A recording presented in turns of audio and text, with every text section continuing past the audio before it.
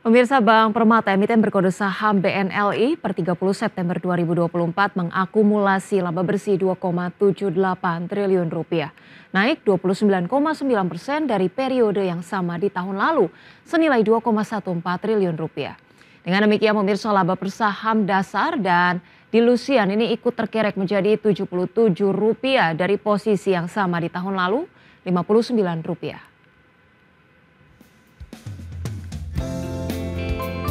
Bank Permata emiten berkode saham BNLI per 30 September 2024 mengakumulasi laba bersih 2,78 triliun rupiah.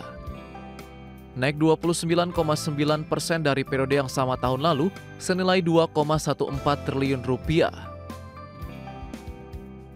Dengan demikian laba per saham dasar dan dilusian ikut terkerek menjadi 77 rupiah dari posisi sama tahun lalu 59 rupiah.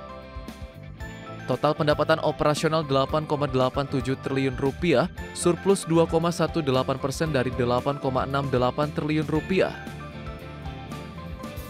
Itu terdiri dari pendapatan bunga 10,78 triliun rupiah, melesat dari 10,27 triliun rupiah.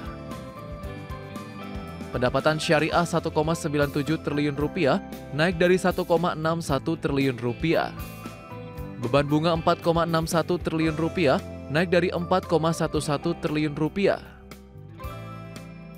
Beban syariah 806,91 miliar, bengkak dari 616,71 miliar rupiah.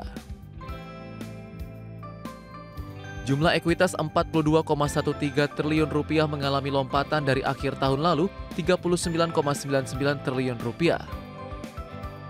Total liabilitas terkumpul 212,50 triliun rupiah, susut dari periode akhir 2023 sebesar 217,45 triliun rupiah.